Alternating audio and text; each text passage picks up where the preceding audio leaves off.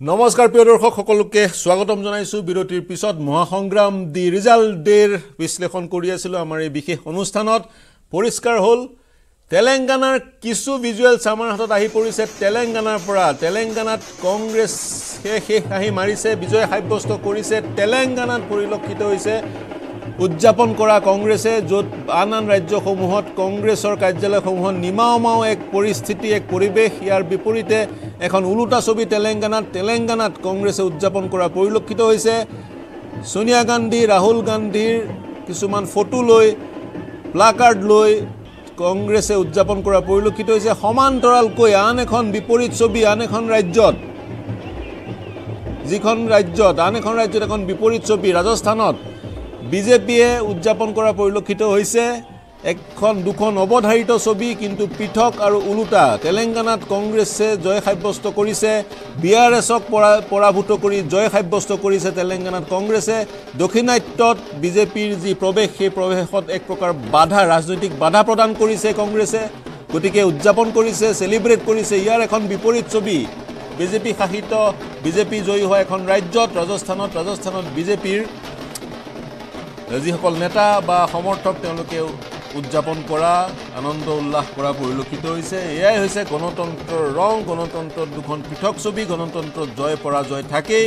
গণতন্ত্ৰত কোনো কথাই স্থায়ী নহয়। আজি যদি কোনোবা এটা বিশেষ দলে চৰকাৰ গঠন কৰিছে অনাগত সময়ত আন এটা দলে চৰকাৰ গঠন কৰিব এয়াই হৈছে ভাৰতীয় গণতন্ত্ৰৰ মূলমন্ত্ৰ গণতন্ত্ৰৰ ৰং গণতন্ত্ৰৰ বিশেষত্ব। যদি তেলেংগানাত কংগ্ৰেছে উদযাপন কৰিছে ৰাজস্থানত বা মধ্যপ্ৰদেশত বিজেপিয়ে উদযাপন কৰিছে এয়া হৈছে গণতন্ত্ৰ আৰু গণতন্ত্ৰ যেতিয়ালৈকে থাকিব ভাৰতবৰ্ষত এই বিবিধতা এই ভেৰাইটি এই বিশেষত্ব ভাৰতবৰ্ষত থাকিব। মই ষ্টুডিঅ'লৈ আহিম ভিজুৱেলছ সম্পূৰ্ণ হোৱাৰ পিছত।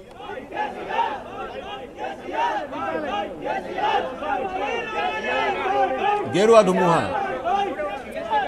এয়া তেলেংগানাৰ দৃশ- দৃশ্য যদিও গেৰুৱা ধুমুহা হিন্দী বলয়ত পৰিলক্ষিত হ'ল কিন্তু তেলেংগানাতো আনন্দ উল্লাস। কিছু সময় লাগিল তেওঁলোকৰ এই আনন্দ উল্লাস আৰম্ভ কৰিবলৈ কিন্তু অৱশেষত তেওঁলোকে আনন্দ উল্লাস কৰিলে।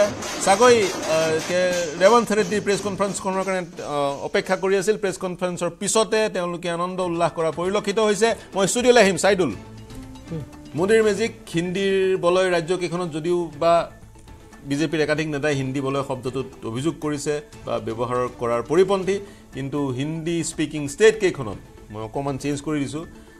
মোদীৰ মেজিক সম্পূৰ্ণৰূপে চলা পৰিলক্ষিত হ'ল যি এক ঢৌ প্ৰতিষ্ঠান বিৰোধী ঢৌ আছিল বুলি বিভিন্ন সময়ত কোৱা হৈছিলে। বিজেপিৰ বিৰুদ্ধাচৰণ কৰাৰ ঢৌ সেই ঢৌ নাছিল নেকি বাৰু?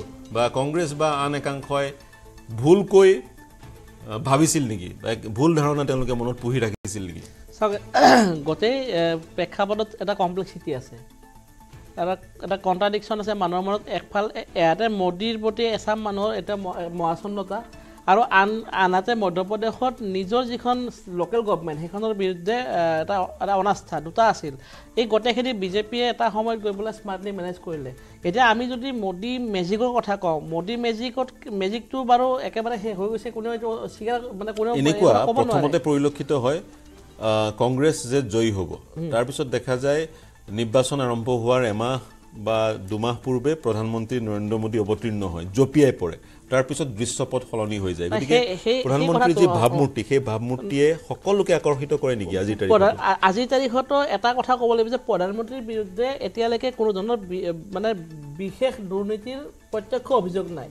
সেই বিষয়টো লগত এটা মোদীৰ যিটো এটা ব্যক্তিত্ব সদায় কেমেৰাত থাকি ভাল পায় কানেক্ট কৰি থাকি ভাল পায় যদিও এটা প্ৰেছ কনফাৰেন্স নকৰে কিন্তু চামাও মানে কানেক্ট হৈ থাকে মানুহৰ লগত। কানেক্ট হোৱাতকৈ বাৰ্তা প্ৰেৰণ সৰহ কৰি থাকে প্ৰেৰণ কৰে। বিভিন্ন সেই- মাধ্যমেৰে বাৰ্তা। কথাটো আছে। এতিয়া এটা কথা আমি ক'ব লাগিব যে হিন্দী হাৰ্ট বেল্ট এইটো কথা ক'লে ভাল পাওক বা বেয়া পাওক এই কথাটো সত্য যে হিন্দী হাৰ্ট বেল্ট এটা আছে আৰু সেই হিন্দী হাৰ্ট বেল্টৰ প্ৰায় দুইশ বিৰাশীখন চিট আছে। লোকসভাৰ গোটেই এৰিয়াটোত। তাৰ ভিতৰত আপুনি যদি বিহাৰ বাদ দিয়ে ৰাজস্থান যদি বাদ দিয়ে এনেকৈ কেইখনমান ষ্টেট বাদ দিলেও মই ভাবোঁ মোদীৰ যিটো মেজিক অন্ততঃ মধ্যপ্ৰদেশ উত্তৰ প্ৰদেশ গুজৰাট। এই তিনিখন ষ্টেটত মই ভাবোঁ আৰু বহুদিনলৈকে থাকিব। মোৰ মোৰ যিটো এনালাইচিছ কিছু আৰু দীঘলীয়া সময়লৈকে থাকিব। আৰু আৰু একে সময়তে মোদীৰ দাক্ষিণাত্যৰ ফালে মোদী মোদীৰ যিটো প্ৰভাৱ সেইটো সেই বস্তুটো ক'ৰবাত টুটি আহিছে নেকি সেই প্ৰশ্নটো কৰিব লাগিব এইকাৰণে যে কৰ্ণাটক তেলেংগানা এই দুখনত মোদীৰ প্ৰভাৱটো একেবাৰে দেখা নগ'ল। একে অৰ্থাৎ অৰ্থাৎ অৰ্থাৎ হয়। আৰু কিবা এটা একে কৈছিলে? সময়তে একে সময়তে আমি যদি চাওঁ যে স্মাৰ্ট মেনেজমেণ্ট আৰু সঠিক সঠিক মানে গ্ৰাছৰুটত গৈ পেলাই সঠিক পেনিট্ৰেশ্যন নিজৰ কথাবিলাকৰ সেইটো যদি কৰিব পাৰে কংগ্ৰেছে সফল হ'ব পাৰে তাৰ উদাহৰণ আমি হিমাচল চাব পাৰোঁ। গতিকে গতিকে মই ভাবোঁ কংগ্ৰেছে কংগ্ৰেছে আটাইতকৈ যিটো ভুল কৰিলে এই ইলেকশ্যনটো বেছি। ইজিকে ল'লে আৰু লৈ পেলাই লৈ পেলাই নৰেন্দ্ৰ মোদীক নৰেন্দ্ৰ মোদীক ক'ৰবাত মই ভাবোঁ নৰেন্দ্ৰ মোদী প্ৰধানমন্ত্ৰী এগৰাকী তেওঁক ন বছৰ আঠ বছৰ বা দহ বছৰ হৈছে বুলি তেওঁৰ এগেইনষ্টে এণ্টি ইনকামেঞ্চি হোৱা বুলি। এণ্টি ইনকামেঞ্চি তেওঁলোকে বেছি ডাঙৰকৈ মোৰ যেন লাৰ্জাৰ যেন ৰিয়েলিটি তেওঁলোকে ক্ৰিয়েট কৰি ল'লে মনত আৰু তাৰ কাৰণে মই ভাবোঁ মোদীক সহজকৈ লোৱাৰ কাৰণে এই বিপৰ্যয়ৰ সন্মুখীন হ'ল। আৰু অন্যান্য বহু কাৰণ আছে মই চাওক চাইদুল। এই যি ৰাজনীতি ৰাজনীতি হৈছে ধাৰণাৰ যুঁজ। পাৰচেপশ্যনৰ বেটেল অফ পাৰচেপশ্যন চিন্তাধাৰা দুটা চিন্তাধাৰাৰ যুঁজ আৰু সমান্তৰালকৈ ধাৰণাৰ যুঁজ। আপুনি এটা ধাৰণা এটাৰ সৃষ্টি কৰিছে। এই ধাৰণাটো যদি ধাৰণাটোৰ যদি গ্ৰাউণ্ড ৰিয়েলিটিৰ সৈতে বাস্তৱৰ সৈতে সম্পৰ্ক নাথাকে তেতিয়া ৰিজাল্ট ওলোটা হ'ব। গতিকে নিৰ্বাচনত অৱতীৰ্ণ হোৱাৰ আগতে গভীৰ অধ্যয়ন গৱেষণা আৰু মানুহৰ মাজলৈ গৈ কিছু পৰিসংখ্যা সংগ্ৰহ কৰাৰ সদায় প্ৰয়োজনীয়তা থাকে। আৰু আজিকালি দলবোৰে কৰে মই ইনিচিয়েল পাৰচেপশ্যনটো কংগ্ৰেছে ভালকৈ ক্ৰিয়েট কৰিব পাৰিছিল। কিন্তু সেই ইনিচিয়েল পাৰচেপশ্যনটো ক্ৰিয়েট হোৱাৰ পিছত কংগ্ৰেছ ইমান আত্মবিশ্বাসী হৈ গ'ল আত্মবিশ্বাসী হৈ গ'ল কংগ্ৰেছ আত্মবিশ্বাসী হৈ গ'ল বা নৰেন্দ্ৰ মোদী অমিত শ্বাহ। কংগ্ৰেছ আত্মবিশ্বাসী হোৱাৰ বিপৰীতে বিজেপিৰ যিটো একদম মিনিমাম লেভেলত একদম বুথ লেভেলতকৈ আৰু পৃষ্ঠা প্ৰমুখ লেভেলত তেওঁলোকে যিটো। পলিটিক্স কৰে এটা- management। এটা এটা ইনপুট অসমৰ ক্ষেত্ৰত দিব খুজিছোঁ মই এতিয়া মোৰ কেইবাজনো বিজেপিত থকা বন্ধু আছে তেওঁলোকে মই মাজতে খবৰ পালোঁ তেওঁলোকে এতিয়া এতিয়াৰ পৰা B T A D election কিমান দিন পিছত আছে এতিয়াৰ পৰা তেওঁলোকে বি টি এ ডি। এই কেম্পেইনটো এই কেম্পেইনটো য'ত ভূপেন বৰা আছে যেতিয়ালৈকে নকৰিব তেতিয়ালৈকে মিঠাই খাম কিবা কৰিম এইবিলাক কথা কৈ পেলাই পলিটিক্স কৰিলে এইবিলাক কথা সফল কৈ পেলাই। কথাৰ কটাকটি কৰি কৰি লাভ নাই যেতিয়ালৈকে গ্ৰাউণ্ড ৰিয়েলিটি উপলব্ধি নকৰে আৰু যেতিয়ালৈকে ৰাইজৰ মাজত সোমাই নপৰে। মেইন কথাটো হৈছে বাৰ্তাটো প্ৰেৰণ কৰা আৰু বাৰ্তাটো সেই ৰাইজে কেনেধৰণে ৰিচিভ কৰিছে। মই নৱজিত ভাগৱতী আৰু প্ৰাঞ্জল আপোনাৰ ওচৰলৈ যাম দুয়োগৰাকীৰ ওচৰলৈ যাম আপোনালোকৰ ওচৰত আছে মেজিক ৱাল আৰু কিছু বিশ্লেষণ বিচাৰিম। ছবি স্পষ্ট হৈ গ'ল আপোনালোকৰ বিশ্লেষণ মতামত সেইসমূহ বিচাৰিম আপোনালোকৰ ওচৰলৈ যাব বিচাৰিছোঁ। নিশ্চয় আৰু যিহেতু আপুনি কৈছে ইতিমধ্যে গোটেই মাইক্ৰ' লেভেলত কামৰ কথা আৰু বিজেপিয়ে সেইটো কৰি দেখুৱাইছে যাৰ বাবে ছত্তীশগড় ৰাজস্থানৰ মধ্যপ্ৰদেশত বিজেপিৰ ফলাফল দেখিবলৈ পোৱা যোৱা বুলি বিভিন্নজনে দাবী উত্থাপন কৰিছে। বিপৰীতে তেলেংগানাৰ ছবিও আমি দেখুৱাই আছোঁ পোনপটীয়া সম্প্ৰচাৰত তেলেংগানা য'ত গোটেই দেশতেই কংগ্ৰেছৰ মুখত এতিয়া এক দুখজনক ছবি তেওঁলোকৰ মুখ এক প্ৰকাৰ হাঁহি নোহোৱা হৈছে মুখত। অসম কংগ্ৰেছতো দেখা গৈছে। তেলেংগানাত দেখিবলৈ পোৱা গৈছে ছোনিয়া গান্ধী ৰাহুল গান্ধী তেওঁলোকৰ প্ৰতিছবিৰ সন্মুখত। সকলোৱে ধুনীয়াকৈ আতচবাজি ফুটাইছে আনন্দ উৎসৱ গাখীৰো ঢালিছে। গৈ তেওঁলোকৰ ফটোত মানে এক বিপৰীত ছবি তেলেংগানাত। আৰু কংগ্ৰেছীসকলে আনন্দ উৎসাহত মতলীয়া হৈ পৰিছে। তেলেংগানাৰ গোটেইখিনি যদি আমি মেজিক ৱালত দেখুৱাই পেলাই নৱজিত কওঁ বহুকেইটা ফেক্টৰ অ' এ চি ফেক্টৰটো আছিল কিন্তু কাম নাহিলে। হয়। তাৰমানে কেনেকুৱা আছে যে ওৱেচি আছাদুদ্দিন ওৱেচি আছাদুদ্দিন ওৱেচি সাধাৰণতে নিজামৰ দেশ হায়দৰাবাদ অৰ্থাৎ তেলেংগানাৰ যি ৰাজধানী হায়দৰাবাদত নিজামৰ দেশ আৰু এই ওৱেচিৰ ফেক্টৰ এটা আছে। ওৱেচিৰ ফেক্টৰ ওৱেচি এইবাৰ আসন কম পাইছে। অৰ্থাৎ তেওঁলোকৰ যি অগ্ৰগতি হৈছে সেইটো কম হৈছে অৰ্থাৎ দুখন আসন তেওঁলোকৰ কমি আছে। কিন্তু আগৰবাৰ যিমান আসন পাইছিল এইবাৰ কমটো হৈছে ওৱেচিৰ তাৰ উপৰি আটাইতকৈ ডাঙৰ কথা হ'ল ওৱেচিয়ে আহ্বান জনাইছিল ভোট দিবলৈ বি আৰ এছক অৰ্থাৎ ভাৰত ৰাষ্ট্ৰীয় সমিতিক মানে কে চি আৰৰ যিটো দল কিন্তু নিদিলে। ওৱেচিৰ কথা নুশুনিলে। মুছলমান ভোটখিনি কংগ্ৰেছলৈকে গ'ল। অৰ্থাৎ ওৱেচি ফেক্টৰটো তাত কামত নাহিল অৰ্থাৎ নিজৰ ৰাজ্যতে ওৱেচি মানে নৱজিত এনেকুৱা কথা নেকি যে আমি কেন্দ্ৰত থাকোঁ এ চিয়ে বিজেপিক এক প্ৰকাৰ আপকীয়াকৈ জয়ী কৰাই আছে যিটো অসমত বদলি নাচনৰ ক্ষেত্ৰত কওঁ মানুহৰ ক'ৰবাত কি সেইটো বোধগম্য ক্লিক কৰিলে নেকি যে সঁচাকৈ অ' এ চিৰ কিছুমান সাম্প্ৰদায়িক কথা কিছুমান বক্তব্যই বিজেপিকেই সহায় কৰি আছে আৰু অ' এ চিৰ দৰে মানুহক আমি আঁতৰাব লাগে তেনেকুৱা ধৰণৰ ক্ৰিয়াকলাপ হ'ল নেকি? নিশ্চিতভাৱে হয়তো হ'ব পাৰে কিন্তু এই ক্ষেত্ৰত কেনেকুৱা যে ওৱেচি যদি মুহূৰ্তৰ কাৰণে ৰখাম আপুনি যিটো কথাৰ বিশ্লেষণ কৰি আছে সেই কথাৰ সন্দ- সেই কথাৰ সৈতে সৈতে সম্পৰ্ক থকা এটা ব্ৰেকিং নিউজ আকবৰ উদ্দিন ওৱেচি আছাদুদ্দিন ওৱেচিৰ ভাতৃ চন্দ্ৰয়ান গুট্টা চন্দ্ৰয়ান গুট্টা তেলেংগানাৰ চন্দ্ৰয়ান গুট্টা সমষ্টিৰ পৰা তেওঁ জয় জয়ী হৈছে। A I am I am দলৰ অন্যতম নেতা আছাদুদ্দিন ওৱেচিৰ ভাতৃ আকবৰ উদ্দিন ওৱেচিয়ে জয়লাভ কৰিছে। নৱজিত প্ৰাঞ্জলৰ প্ৰাঞ্জল নৱজিত প্ৰাঞ্জল নৱজিত দুয়োগৰাকীক এটা প্ৰশ্ন যি আছাদুদ্দিন ওৱেচিয়ে এম আই এমে তেলেংগানাৰ বাহিৰত উত্তৰ প্ৰদেশ আৰু আন আন ৰাজ্যত নিৰ্বাচনত অৱতীৰ্ণ হয়। উত্তৰ প্ৰদেশত সত্তৰখন আসনত বিহাৰত পঞ্চাছখন আসনত পশ্চিমবংগ পৰ্যন্ত নিৰ্বাচনত অৱতীৰ্ণ হয় আৰু ক'ৰবাত ক'ৰবাত জয়লাভো কৰে। নিজৰ য'ত গৃহ ৰাজ্য য'ত সকলোতকৈ শক্তিশালী সেই ৰাজ্যখনত আকৌ তেওঁলোকে নজনক অৱতীৰ্ণ কিয় কৰালে? নজনক অৱতীৰ্ণ কৰায়ো ফলাফল বেয়া। কিহৰ ইংগিত? কাৰ বি টিম? অ' এ চি? M I M? কিহৰ ইংগিত? এম আই এমৰ এই এজন প্ৰাৰ্থী জয়লাভ কৰিছে আছাউদ্দিন ওৱেচিৰ ভাভাতৃ হয়। কিন্তু এতিয়া পাৰ্থৰ প্ৰশ্নটো হৈছে যে আন আন ৰাজ্যত উত্তৰ প্ৰদেশত পশ্চিমবংগ পৰ্যন্ত তেওঁলোকে নিৰ্বাচনত অৱতীৰ্ণ কৰায় বহুকেইটা সমষ্টিত অৱতীৰ্ণ কৰায় নিজৰ প্ৰাৰ্থী নিজৰ দলটোৰ। কিন্তু নিজৰ যিখন ৰাজ্যত বেছ আছে তেওঁলোকৰ সেইখন ৰাজ্যতে তেওঁলোকে মাত্ৰ নজন প্ৰাৰ্থীকহে অৱতীৰ্ণ কৰালে। আচলতে কাৰ ইয়াত হাত থাকিব পাৰে বুলি প্ৰশ্ন উত্থাপন হৈছে সাধাৰণতে কি হয় যিটো M I A I am আই অৰ্থাৎ আছাদুদ্দিন ওৱেচি সদায় এটা ইয়াত থাকে আৰু তেওঁৰ যিটো ভাতৃ আকবৰউদ্দিন ওৱেচি তেওঁ জয়লাভ কৰিছে অতি কট্টৰপন্থী নেতা আকবৰউদ্দিন ওৱেচি। আছাদুদ্দিন ওৱেচিক আমি যিমান দেখা পাওঁ তাতকৈ আটাইতকৈ বেছি আকবৰউদ্দিন ওৱেচি। ওৱেচিৰ ভাষণ আটাইতকৈ বেছি কট্টৰ আনকি এই নিৰ্বাচনী সভাত আৰক্ষীক পিটিবলৈ অৰ্থাৎ মাৰিবলৈ খেদি গৈছিল আকবৰউদ্দিন ওৱেচি অৰ্থাৎ তেনেকুৱা পৰ্যায়ৰ নেতা। আনকি এনেকুৱা ধৰণে কয় অপেনলি কয় যে যদি এঘণ্টাৰ বাবে গোটেই আৰক্ষী বন্ধ কৰি দিয়া হয় তেতিয়াহ'লে গম পাব যে কোন কিমান শক্তিশালী। অৰ্থাৎ তেওঁ কাক মাৰিব? ইমানখিনি তেওঁ সাম্প্ৰদায়িক ভাষণো দিয়ে। আটাইতকৈ ডাঙৰ কথা ওৱেচি ফেক্টৰ য'ত ক্ৰিয়া কৰে এইবাৰ বিজেপিয়ে জিকিছে। বিজেপিয়ে তাত এখন এখন আসনত জিকিছে। এখন আসনত জিকিছে। অৰ্থাৎ যি দুখন আসন লষ্ট হৈছে তাত এখন কংগ্ৰেছ এখন বিজেপি। অঁ। অৰ্থাৎ বিজেপি জয় হোৱাটো এইটো আটাইতকৈ আচৰিত কথা। যে বিজেপি য'ত ওৱেচি ফেক্টৰ অৰ্থাৎ সাধাৰণতে মুছলমানে ভোট নিদিয়ে বুলিয়ে কোৱা হয় বিজেপিক কিন্তু এইবাৰ তাত কি অংকত তাত এখন আসনত বিজেপিয়ে জয়লাভ কৰিব সক্ষম হৈছে আৰু এখন আসন কংগ্ৰেছে পাইছে। তাত মুঠতে আঠখন আসন আছিল। অৱেচি ফেক্টৰ থকা সেই অঞ্চলটোত। আঠখন আসন তাৰ ভিতৰত এইবাৰ বিজেপিয়ে এখন আসন লাভ কৰিছে। এইটো অতি গুৰুত্বপূৰ্ণ। অৰ্থাৎ বিজেপিয়ে তাত এণ্ট্ৰি মাৰিছে য'ত হাৰ্টলেণ্ড ওৱেচিৰ হাৰ্টলেণ্ড ওৱেচিৰ হাৰ্টলেণ্ডত তাত এণ্ট্ৰি মাৰিছে বিজেপিয়ে। সেইটো হ'ল আটাইতকৈ লক্ষণীয় কথা। তাৰোপৰি কংগ্ৰেছে এখন পাইছে। কংগ্ৰেছৰ ক্ষেত্ৰত অৰ্থাৎ ওৱেচিৰ আপুনি যিটো কৰা প্ৰশ্ন কৰিছিল যে কাৰ সহায়ত তেওঁলোকে এই কামখিনি কৰি থাকে। একচুৱেলি সাধাৰণতে হয় কেনেকুৱা যে আপুনি যিটো কথা কৈছে আজমলৰ কথাটো কৈছে। আমি সাধাৰণতে ব্যাখ্যা কৰোঁ। ক'ৰবাত তেওঁলোকৰ ভিতৰুৱা আণ্ডাৰষ্টেণ্ডিং হয়। যদি বিজেপি নাথাকে আজমল নাথাকে আজমল যদি ইমান ওখ নহয় তেতিয়াহ'লে বিজেপি ইমান ওখ নহয়। এইটো সাধাৰণতে পলাৰাইজ হয়। ওৱেচিও ঠিক তেনে তেনেধৰণৰ কথা যে ওৱেচি তাত আছে কাৰণে আজমলে তাত কেণ্ডিডেট নিদিয়ে। আৰু ওৱেচি যদি নাথাকে তেতিয়াহ'লে আজমলে দিলেহেঁতেন আৰু ইয়াত আজমল আছে কাৰণে ইয়াত ওৱেচি নাহে নহ'লে ওৱেচিও আহি পেলাই ইয়াতে কেণ্ডিডেট দিলেহেঁতেন। কিন্তু সাধাৰণতে কোৱা হয় যে বিজেপিৰ পক্ষত তেওঁলোকে কৰে। অৰ্থাৎ পলাৰাইজ কৰাৰ ক্ষেত্ৰত কিন্তু ওৱেচিৰ ভূমিকা আছে। মেৰুকৰণ কৰি পেলাই এইবাৰ কিমান আসন দিলেগৈ তাত? মাত্ৰ তেলেংগানাত? হয় আহ, ওৱেচিৰ অৱেচিৰ প্ৰশ্নটো হ'ল ওৱেচিয়ে অৰ্থাৎ তেওঁলোকৰ যিটো কংগ্ৰেছে পাই গ'ল বাকী এখন। কিন্তু কিন্তু ওৱেচিয়ে যাক দিছিল অৰ্থাৎ বি আৰ এছক দিছিল বি আৰ এছক সেইখিনি এখন। না তাকে তেওঁ অকল অৱেচিৰ দলটোৱে খেলিলে কিমানখন আসনত? নখনত। হয় নখন অৰ্থাৎ তেওঁলোকে বেছি আসনত নেখেলিলে যাতে বি আৰ এছ জয় হ'ব পাৰে। তেওঁলোকে কাৰো কোনো এটা দলৰ লগত আণ্ডাৰষ্টেণ্ডিঙত থাকে যাতে নিজৰ আসন কেইখন তেওঁলোকে ৰাখিব পাৰে আৰু নিজে এজন ৰাজনৈতিক নেতা হৈ থাকিব পাৰে আৰু নিজে যাতে চৰকাৰী সুবিধাখিনি ভোগ কৰি থাকিব পাৰে আমাৰ আজমলৰ দৰে। মানে মেৰুকৰণৰ ৰাজনীতিটো কৰিছে নিজৰ ব্যক্তি স্বাৰ্থখিনি কিন্তু, যাতে এই যে তেলেংগানা তেলেংগানাৰ অতি আটাইতকৈ গুৰুত্বপূৰ্ণ বস্তু, দিশ হ'ল কি? কংগ্ৰেছৰ ইমান উত্থান কেনেকৈ হ'ল? আপুনি যিটো কথা কৈছিল যে সমগ্ৰ দেশতে এনেধৰণৰ তেওঁলোকৰ অৱস্থা হ'ল কিন্তু তাত কেনেধৰণৰ? কেইবাটাও ফেক্টৰ আছে। কেইবাটাও ফেক্টৰৰ ভিতৰত এটা আটাইতকৈ ডাঙৰ ফেক্টৰ হ'ল ৰেৱন্ত ৰেড্ডি।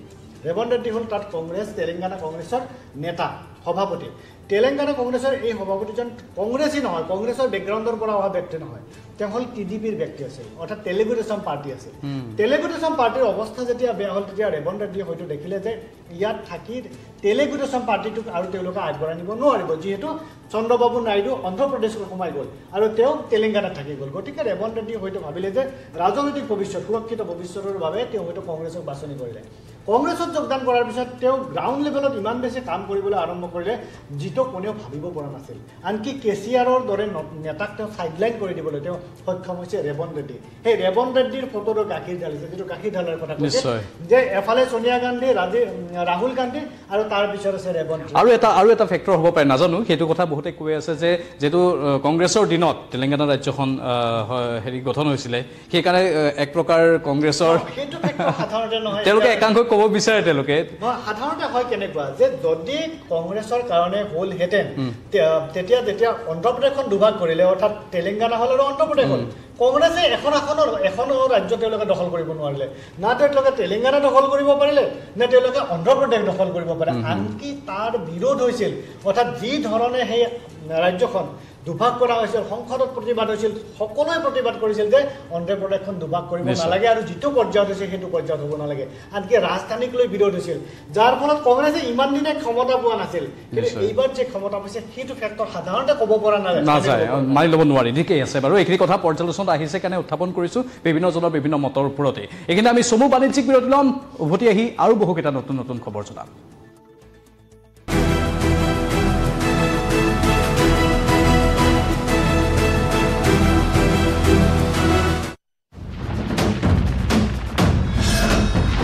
ভাৰতৰ গৌৰৱ গোটেই বিশ্বতেই ইয়াৰ সন্মান ষ্ট্ৰং মানে মাইথান ষ্টীল विश्वास है कि पूर्ण दिग्विजय सिंह दो दिन से आपको अटैक कर रहे हैं कल भी उन्होंने कहा भी कहा कि हमारे पास इंडिया जैसे नहीं है हमारी कांग्रेस नहीं टूटेगी ट्रेडिंग नहीं होगी उनके आपको उनके गद्दार कह रहे हैं उनके उनके हर एक अ, अ, बददुआ का मैं स्वागत करता हूँ। और दिग्विजय सिंह जी को मैं अपने तरफ़ से अपने दिल की गहराइयों से मैं उनको शुभकामनाएँ भी देता हूँ। ठीक है। Thank you sir thank you Bharatiya Janata Party और देश के यशस्वी लोकप्रिय नेता आदरणीय नरेंद्र मोदी जी में अटूट व्यास आस्था प्रकट की है विश्वास व्यक्त किया है और यही परिणाम दिख रहा है कि कई दिनों से हज़ारों कार्यकर्ता रात दिन पार्टी को विजयश्री दिलाने के लिए काम कर रहे थे। इस जीत का आधार वही है। और मैं सोचता हूँ अभी शुरुआती बढ़त है, ये बढ़त और बढ़ती जाएगी। देखिए, सरकार इस लाल डायरी में, इस सरकार का हर एक काला चिट्ठा है और इस पाँच साल में इन्होंने जो काले कारन- कारनामे किए हैं, इन्होंने जो जनता को लूटा है, इन्होंने जो जनता के प्रति वादा खिलाफी की है, ठगी की है, जालसाजी की है उसका परिणाम है कि जनता ने आज इनकी विदाई तय कर दी और भारतीय जनता पार्टी की सरकार बन रही भारतीय जनता पार्टी और देश के यशस्वी लोकप्रिय नेता आदरणीय नरेंद्र मोदी जी में अटूट व्यास आस्था प्रकट की है विश्वास व्यक्त किया है और यही परिणाम दिख रहा है कि कई दिनों से हज़ारों कार्यकर्ता रात दिन पार्टी को विजयश्री दिलाने के लिए काम कर रहे थे। इस जीत का आधार वही है और मैं सोचता हूँ अभी शुरुआती बढ़त है ये बढ़त और बढ़ती जाएगी। देखिए सरकार इस लाल डायरी में इस सरकार का हर एक काला चिट्ठा है। और इस पाँच साल में इन्होंने जो काले कारन- कारनामे किए हैं इन्होंने जो जनता को लूटा है इन्होंने जो जनता के प्रति वादा खिलाफी की है ठगी की है जालसाजी की है उसका परिणाम है कि जनता ने आज इनकी विदाई तय कर दी और भारतीय जनता पार्टी की सरकार बन रही है। भारतीय जनता पार्टी और देश के यशस्वी लोकप्रिय नेता आदरणीय नरेंद्र मोदी जी में अटूट व्यास आस्था प्रकट की है, विश्वास व्यक्त किया है और यही परिणाम दिख रहा है कि कई दिनों से हज़ारों कार्यकर्ता रात दिन पार्टी को विजयश्री दिलाने के लिए काम कर रहे थे। इस जीत का आधार वही है और मैं सोचता हूँ अभी शुरुआती बढ़त है, ये बढ़त और बढ़ती जाएगी। देखिए, सरकार इस लाल डायरी में इस सरकार का हर एक काला चिट्ठा है। और इस पाँच साल में इन्होंने जो काले कारन- कारनामे किए हैं, इन्होंने जो जनता को लूटा है, इन्होंने जो जनता के प्रति वादा खिलाफी की है, ठगी की है, जालसाजी की है, उसका परिणाम है कि जनता ने आज इनकी विदाई तय कर दी और भारतीय जनता पार्टी की सरकार बन है। भारतीय जनता पार्टी और देश के यशस्वी लोकप्रिय नेता आदरणीय नरेंद्र मोदी जी में अटूट व्यास आस्था प्रकट की है, विश्वास व्यक्त किया है, और यही परिणाम दिख रहा है कि कई दिनों से हज़ारों कार्यकर्ता रात दिन पार्टी को विजयश्री दिलाने के लिए काम कर रहे थे। इस जीत का आधार वही है, और मैं सोचता हूँ अभी शुरुआती बढ़त है, ये बढ़त और बढ़ती जाएगी। देखिए, सरकार इस लाल डायरी में, इस सरकार का हर एक काला चिट्ठा है, और इस पाँच साल में इन्होंने जो काले कारन- कारनामे किए हैं इन्होंने जो जनता को लूटा है इन्होंने जो जनता के प्रति वादा खिलाफी की है ठगी की है जालसाजी की है उसका परिणाम है कि जनता ने आज इनकी विदाई तय कर दी और भारतीय जनता पार्टी की सरकार बन रही है মই প্ৰথম কথা যে এইটো ছেমি ফাইনেল ছেমি ফাইনেল যিটো কৰি থকা হৈছে এইটোতো আচলতে লোকসভাৰ মাত্ৰ ফিফটিন পাৰ্চেণ্ট আসন আহ, মুঠতে গোটেই পাঁচখন ৰাজ্যক লগ লগালে আচলতে তিৰাশীখন আসন হয়। আৰু তিৰাশীখন আসন হ'লে ভাৰতবৰ্ষৰ ফিফটিন পাৰ্চেণ্ট আসন। আৰু ফিফটিন পাৰ্চেণ্ট আসনে একেবাৰে মানে ছেমি ফাইনেলৰ নিচিনাকে এটা সিদ্ধান্ত দি দিব। মানে এটা ডিচিচিভ সিদ্ধান্ত হ'ব এনেকুৱা নহয় বুলি মই ভাবোঁ। প্ৰথম কথা। দ্বিতীয় কথা এতিয়া যিটো ফলাফল ওলাই আছে এই ফলাফলটো বোধহয় বেছিভাগ এতিয়া পোষ্টেল বেলেটৰ ফলাফল। আৰু তাৰ পাছত যদি এতিয়া কাউণ্টিং হৈছে খুব এই ফাইভ পাৰ্চেণ্ট বা টেন পাৰ্চেণ্টৰ ফলাফল। গতিকে এতিয়াই আমি ফাইনেল সিদ্ধান্ত এটা এই মুহূৰ্তত দি দিব পৰাটো সম্ভৱপৰ নহয়। কিন্তু এটা বস্তু কনফাৰ্ম হৈ গৈছে যে এইবাৰ ইলেকশ্যনটোৱে কনফাৰ্ম কৰি দিলে যে এইবাৰ দক্ষিণ ভাৰতত আৰু বিজেপি নাই।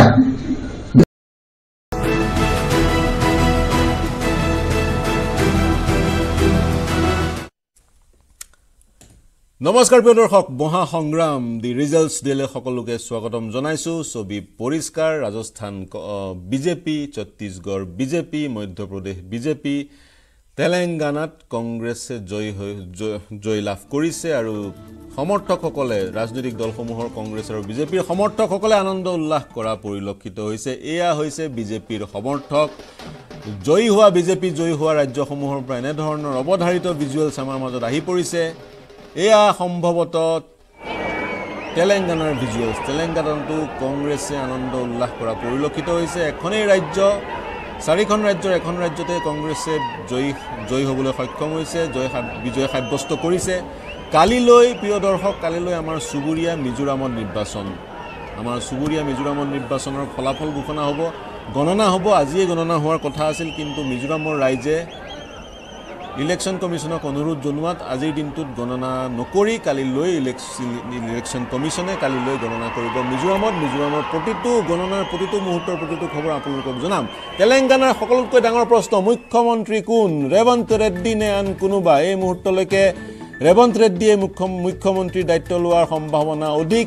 তেলেংগানাৰ ৰাজ্যিক কংগ্ৰেছৰ নেতৃত্বত আছিল ৰেৱন্ত ৰেড্ডী আৰু তেওঁৰ সূক্ষ্ম বিচক্ষণতা সূক্ষ্ম পৰিচালনা মাইক্ৰ' মেনেজমেণ্ট আৰু বিচক্ষণতাৰ ফলতে কংগ্ৰেছে ভাল ফলাফল দেখুৱাবলৈ সক্ষম হ'ল বুলি বিভিন্ন ৰাজনৈতিক বিশ্লেষকে ক'ব খোজে। তাৰ সমান্তৰালকৈ ৰাহুল গান্ধী ভাৰত জোড়ো আন্দোলনৰ যদি ক'ৰবাত প্ৰভাৱ পৰিছিলে সেয়া হৈছে তেলেংগানাত।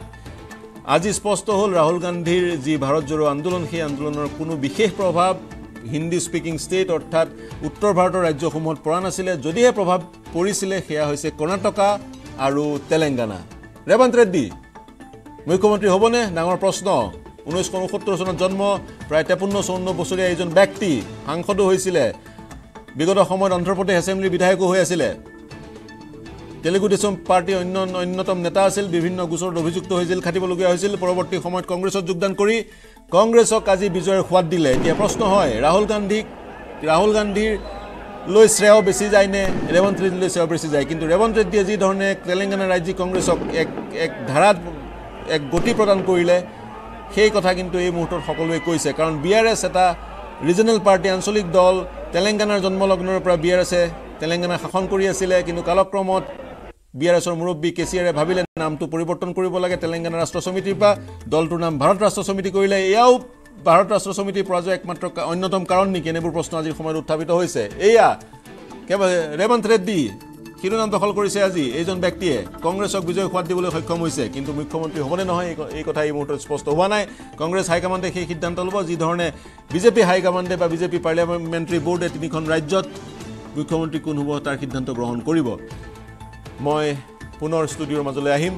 মিজোৰামৰ নিৰ্বাচনৰ ফলাফল কালিলৈ আহিব আৰু সকলো প্ৰতিটো মুহূৰ্তৰ ফলাফল আমি মিজোৰামৰ প্ৰতিটো মুহূৰ্তৰ ফলাফল এইটিনৰ দৰ্শকক দি যাম। ৰাতিপুৱাৰ পৰাই মিজোৰামৰ পৰা আইজলৰ পৰা আমাৰ সৈতে সংযুক্ত হৈ থাকিব আমাৰ ডেপুটি এডিটৰ নিলয় ভট্টাচাৰ্য। তেওঁ মিজোৰামৰ প্ৰতিটো মুহূৰ্তৰ খবৰ আইজলৰ পৰাই ফ্ৰম দি হৰ্চেছ মাউথ সেই স্থানৰ পৰাই আমাক প্ৰদান কৰি যাব। চাইদুল প্ৰায় আমি সমাপ্ত কৰাৰ দিশলৈ আগবাঢ়িছোঁ। সমগ্ৰ দিনটো আমি পৰ্যালোচনা কৰিলোঁ বিশ্লেষণ আগবঢ়ালোঁ। ভাৰতীয় গণতন্ত্ৰৰ এক গুৰুত্বপূৰ্ণ দিন হিচাপে আজিৰ দিনটো চিহ্নিত হ'ব। সমসাময়িক ভাৰতীয় গণতন্ত্ৰত মই বাৰম্বাৰ কৈ আছোঁ প্ৰতিটো নিৰ্বাচনে এক নেৰেটিভৰ সৃষ্টি কৰে। এক বাৰ্তা নতুন বাৰ্তা দি যায় ভাৰতবৰ্ষৰ ৰাইজক। আৰু সেই বাৰ্তা কেতিয়াবা সুদূৰ প্ৰসাৰী হয় কেতিয়াবা নহয়। অনাগত সময়ত সেই বাৰ্তাই প্ৰভাৱ বিস্তাৰ কৰে বা কেতিয়াবা নকৰে। এই নিৰ্বাচনক আপুনি কিদৰে চাব? পাঁচ ৰাজ্যৰ নিৰ্বাচন মই পুনৰ কৈছোঁ ঊনৈছশ আঠান্নব্বৈ চনৰ পৰা। মূলতঃ তিনি ৰাজ্যত। মিজোৰাম মধ্যপ্ৰদেশ আৰু ৰাজস্থানৰ নিৰ্বাচন ছেমি ফাইনেল হিচাপে বিবেচিত হৈ আহিছিল আৰু অন্ধ্ৰপ্ৰদেশ চাৰি ৰাজ্য কালক্ৰমত তেলেংগানাৰ জন্ম হ'ল আৰু ছত্তীশগড়ৰ জন্ম হ'ল। দুহেজাৰ চনত ছত্তীশগড়ৰ জন্ম হ'ল ছেমি ফাইনেলত এটা নতুন দলৰ অন্তৰ্ভুক্তি হ'ল। আৰু অন্ধ্ৰপ্ৰদেশৰ পৰা পৃথক হৈ তেলেংগানাৰ জন্ম হ'ল দুহেজাৰ চৈধ্যত গতিকে দুটা নতুন দলে ছেমি ফাইনেলত সোমাল। পাঁচ ৰাজ্যৰ নিৰ্বাচন আঠান্নব্বৈ চনৰ পৰা এক প্ৰকাৰ ছেমি ফাইনেল ছেমি ফাইনেলৰ প্ৰভাৱ ফাইনেলত পৰিব নপৰিব? চাওক নপৰিব এইজনৰ কথাটো আচলতে কোৱাটো এটা বাহুল্য হ'ব। এইকাৰণে যে আমি পূৰ্বতো কৈছোঁ যে এই নিৰ্বাচনৰ এটা প্ৰভাৱ নিশ্চয় আছে কাৰণ ইলেকশ্যনলৈকে আৰু ছয়মাহমান সময় আছে মাজত। হয়। ছয়মাহ পিছৰ পিছলৈকে মানুহৰ মাইণ্ডছেটত এই কথাটো একেবাৰে পাহৰাই পেলাব পৰাকৈ কংগ্ৰেছৰ হাতত যে নতুনকৈ কৰিব পৰা কি আছে যদি তেওঁলোকে নতুন কিবা এটা কৰি পেলাই এটা মানুহৰ মনত বিশ্বাস জন্মাব পাৰে তেতিয়াহ'লে কথাটো বেলেগ। কেৱল এই কথাটো কোনোবা বিজেপি স্পক্স পাৰ্চনে কওক বা অন্য ব্যক্তিয়ে কওক এটা কথা কিন্তু মানি ল'ব লাগিব যে কেৱল এটা এটা এজেণ্ডা বিজেপিক আঁতৰাব লাগে আৰু নৰেন্দ্ৰ মোদীক আঁতৰাব লাগে। এই ধৰণৰ এই এই ধৰণৰ ছিংগল পইণ্ট এজেণ্ডাত যদি অপজিশ্যন পলিটিক্সটো চলিব বুলি কোনোবা ভাবিছে তেতিয়াহ'লে এইটো ভুল। এতিয়া এটা ভায়েবল ইকনমিক এটা ছাষ্টেইনেবল ইকনমিক ডেভেলপমেণ্টৰ থিয়ৰী লৈ পেলাই গোটেই ভাৰতখনক নতুনকৈ কি ধৰণে কংগ্ৰেছে আপুনি অৰ্থনৈতিক থিয়ৰীৰ কথা কৈছে মোৰ এটা প্ৰশ্ন ছাপ্লিমেণ্টাৰী কুৱেশ্যন এই মুহূৰ্তত প্ৰশ্নটো হৈছে মোদীয়ে ভাৰতবৰ্ষক বিশ্বৰ বুকুত প্ৰতিষ্ঠা কৰিছে ভাৰতত জি টুৱেণ্টি অনুষ্ঠিত হৈছে। আৰু বিশ্বৰ টপ লেভেলৰ শীৰ্ষ পৰ্যায়ৰ নেতাসকলৰ সন্মুখত মোদীৰ যি আত্মবিশ্বাস ছবিবোৰত বা ভিজুৱেলছবোৰত প্ৰকাশ পাইছে ভাৰতবৰ্ষৰ লোকসকল গৌৰৱান্বিত। কিন্তু কিন্তু অৰুণাচলৰ সীমান্তৰ এখন গাঁৱৰ এজন ব্যক্তি এজন কৃষকৰ কাৰণে এইবোৰ কথা কিমান প্ৰাসংগিক বা তেলেংগানাৰ বা ছত্তীশগড়ৰ এখন গাঁৱৰ এজন কৃষকৰ কাৰণে মই উদাহৰণহে দিছোঁ দেই উদাহৰণ দিছোঁ। এইবোৰ কিমান প্ৰাসংগিক? গ্ৰাছৰুট লেভেলত এনে এনেকুৱা কথাৰ প্ৰত্যক্ষ এটা সাংঘাতিক ভোটৰ প্ৰভাৱ নপৰে কিন্তু এটা ইমেজ বিল্ডিঙৰ ক্ষেত্ৰত নৰেন্দ্ৰ মোদীয়ে যিবিলাক ফটো বিভিন্ন জি টুৱেণ্টিৰ সময়ত উঠিছিল তেনেকুৱা ফটোবিলাকে এটা ইমেজ বিল্ডিং কৰাৰ ক্ষেত্ৰত কিন্তু সহায় কৰে এই কথাটো অস্বীকাৰ কৰিব নোৱাৰি। প্ৰথম কথা। দ্বিতীয় কথা বিশ্বগুৰু হওক ন বেলেগ কথা। বিশ্বগুৰু হোৱাৰ যিটো পাৰ্চেপশ্যন বিজেপি নিব পাৰিছে এইটো কিন্তু এটা অত্যন্ত গুৰুত্বপূৰ্ণ কথা। আৰু অন্য এটা কথা ক'ব লাগিব যে বিজেপিয়ে মিজোৰামৰ যি মণিপুৰৰ যি পৰিস্থিতি সেই লৈ পেলাই যথেষ্টখিনি কংগ্ৰেছে এটা সময়ত এটা সময়ত এটা এটা নতুন gain এটা। এটা ট্ৰাই কৰিছিল। আৰু সেই ৱেভটো তেওঁলোকে ধৰি ৰাখিব নোৱাৰিলে গোটেই ইলেকশ্যনটোৰ প্ৰক্ৰিয়াটোৰ মাজত। আৰু এনেও আমাৰ প্ৰান্তীয়ভাৱে এই নৰ্থ ইষ্টৰ কথাবিলাক মূল মেইনলেণ্ড ইণ্ডিয়া বুলি যিটো কথা কওঁ নপৰে, প্ৰভাৱটো কম। এই কথাখিনি আছে। এতিয়া মূল কথাটো এনেকুৱা যে পৰৱৰ্তী সময়ত এই যিটো নিৰ্বাচন হ'ল এই নিৰ্বাচনৰ পৰা হোৱা ইম্পেক্টৰ পৰা কংগ্ৰেছে কেনেকৈ ৰেহাই পাব তাৰ কাৰণে তেওঁলোকে কি কৰিব? প্ৰথম ফাৰ্ষ্ট কুৱেশ্যন ছেকেণ্ড যদিও বিজেপি এই নিৰ্বাচনটো জয়ী হৈছে এইটো কমফৰ্টেবল উইন বুলিয়ে মধ্যপ্ৰদেশত ক'লোঁ। তথাপি কিন্তু মই ভাবোঁ যদি ইণ্ডিয়া ব্লকে কোনো ধৰণৰ বেমেজাৰি নোহোৱাকৈ নিৰ্বাচনটো খেলিব পাৰে অন্ততঃ তেওঁলোকে একে আশাৰে আমি ক'ব নোৱাৰোঁ যে নৰেন্দ্ৰ মোদীক তেওঁলোকে আঁতৰাই পেলাব পাৰিব বা বিজেপিক আঁতৰাই পেলাব পেলাব পাৰিব। অন্ততঃ এটা ফৰ্মিডেবল কিবা ফ'ৰ্চ হিচাপে ইলেকশ্যনটো খেলিব পৰা এটা পৰিস্থিতিলৈ তেওঁলোকে যাব পাৰিব। কিন্তু একে একে সময়তে এটা কথা ক'ব লাগিব আৰু এই নিৰ্বাচনটো কিন্তু নৰেন্দ্ৰ মোদীৰ যিটো ডিমিনিচিং ইমেজ লাহে লাহে যিটো এটা হেৰাই যাব ধৰা এটা পৰি ইমেজ যে নৰেন্দ্ৰ মোদীৰ মেজিকটো শেষ হৈ গ'ল নেকি এই যিটো কুৱেশ্যন মানুহৰ মাজত হৈছিল বা বিৰোধীয়ে যিটো ভাবিবলৈ চেষ্টা কৰিছিল যে নৰেন্দ্ৰ মোদীৰ এফেক্ট শেষ হৈ গ'ল এই ধৰণৰ কথাটোক কিন্তু পুনৰবাৰ প্ৰতিষ্ঠা কৰিলে যে Narendra Modi is still a guiding আমি অস্বীকাৰ কোনেও মই কৰিব নোৱাৰোঁ। আৰু এটা পইণ্ট এটা। পইণ্ট এটা পইণ্ট জাষ্ট এটা পইণ্ট আপুনি point আলোচনা কৰিব পাৰিব। আপুনি কথাটো আলোচনা কৰিব পাৰিব। মই যিখিনি খবৰ এতিয়ালৈকে পাইছোঁ।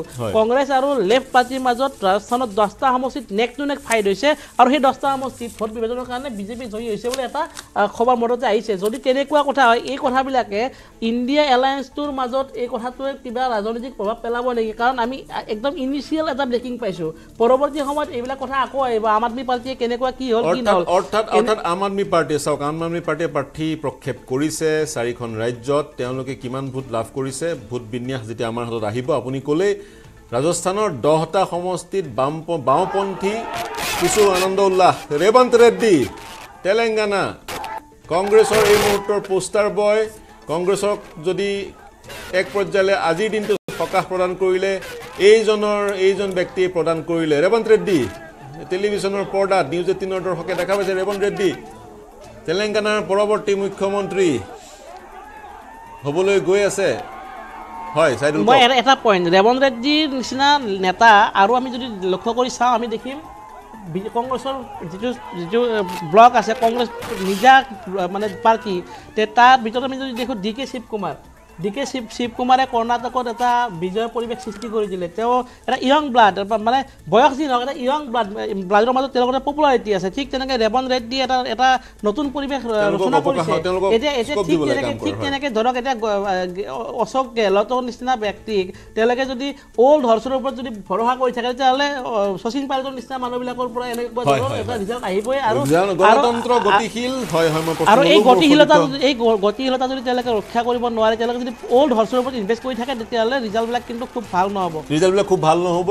গণতন্ত্ৰ গতিশীল আৰু ৰাজনীতিও গতিশীল হ'ব লাগে। ৰাজনীতি গতিশীল কৰিবলৈ নতুন মুখক নতুন টেলেণ্ট আৰু নতুন যাৰ স্কিল আছে সেইসকলক সুবিধা দিব লাগিব কাম কৰিবলৈ। তেতিয়াহে গতিশীল হ'ব ৰাজনৈতিক দল গতিশীল হ'ব গণতন্ত্ৰ।